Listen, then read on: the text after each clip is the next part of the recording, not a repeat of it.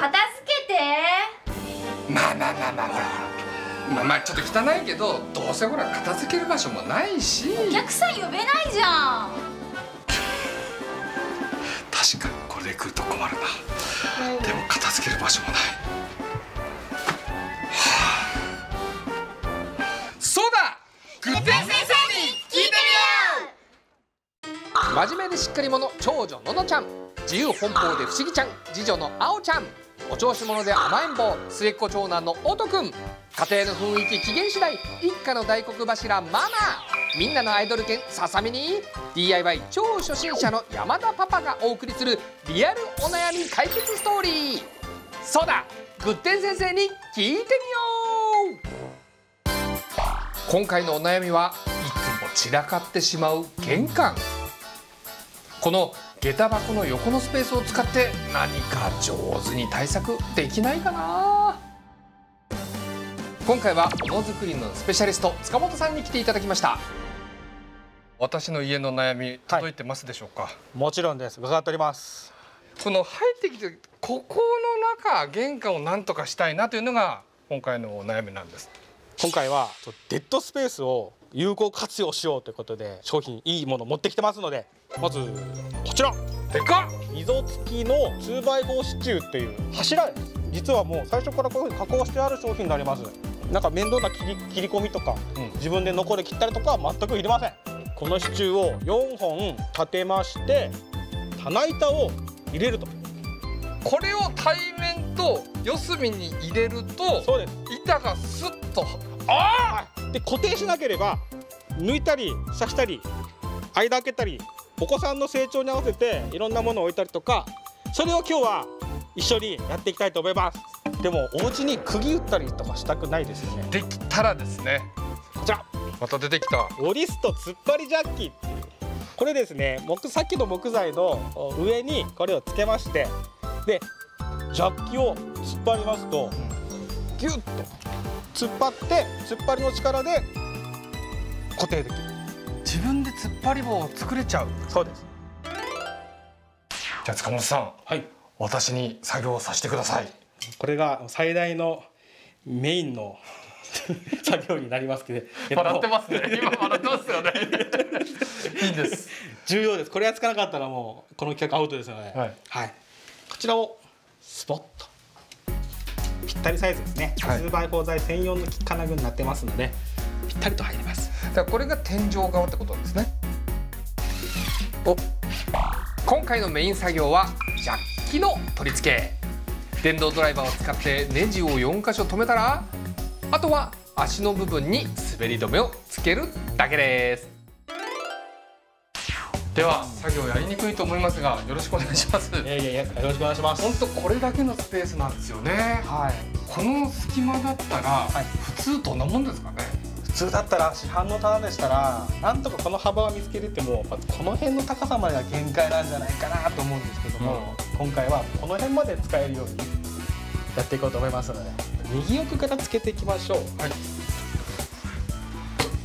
おー。はいピシャリででまずはやりますねって言ったもののですね、はい。やることはもうドライバーでちょっと回すだけっていうここにプラスプラスネジがありますので、ここを時計回りに回すだけです、そうすると邪気が上がっていくイメージですね、はいどんどん今上がってます。突っ張ってる突っ張ってる。はい。どうでしょう？ちょっと触ってみてください。動かしてみてください。こんなちょっとたわみはしますけどもう上下しっかりテンションかかってて動かないです。はい。グッデン先生に教えてもらいながら僕も取り付けたんですがネジを回すだけなのでとっても簡単。壁に穴も開かないので安心です。どうでしょ動かしますね。うはい。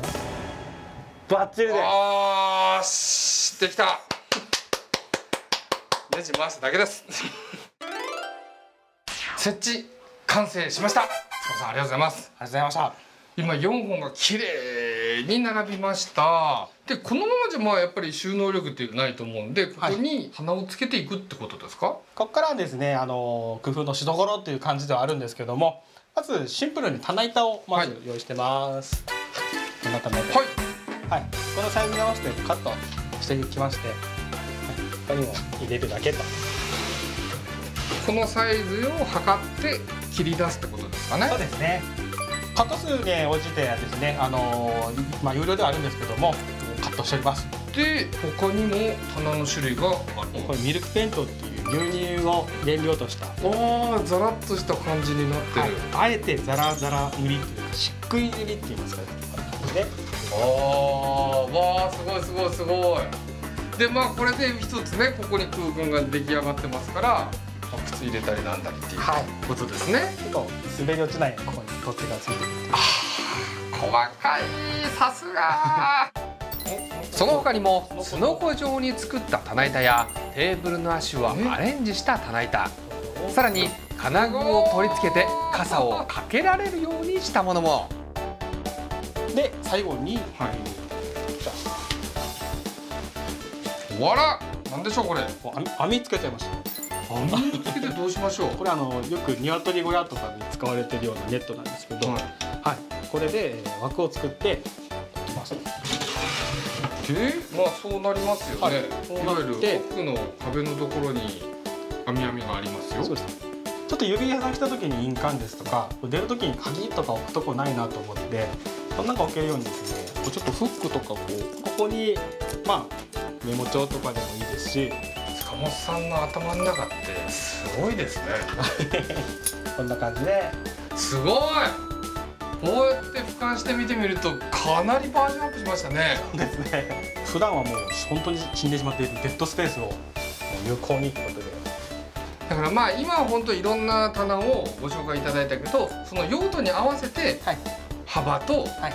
数組み合わせていけばいいってことですね。はい。それではみんなに見てもらいたいと思います。塚本さん。はい綺麗になりましたね。なってると思います。はい。はい。ではママ、みんな玄関見てください。どうぞ。さあどうですか？すごい。どすごめっちゃ綺麗になっうママどいいやちょっと予想以上に可愛い。う 可愛いよね。今回のポイントは壁に穴を開けずに棚板を作ることができるということになります。実用的に収納をたっぷり作ってもいいしあとはおしゃれに特化して飾り付けをしてもいいしアレンジはあなたの工夫次第無限大に広がります。これでごちゃごちゃした玄関もすっきり綺麗になること間違いなし。えっともう女子チームがどうするみたいな相談が始まってますけどもねっていう風に本当あのアレンジはあなた次第ということなんで、はい。ぜひ諦めずにこういうちょっとしたスペースの有効活用屈亭先生に相談してみてください。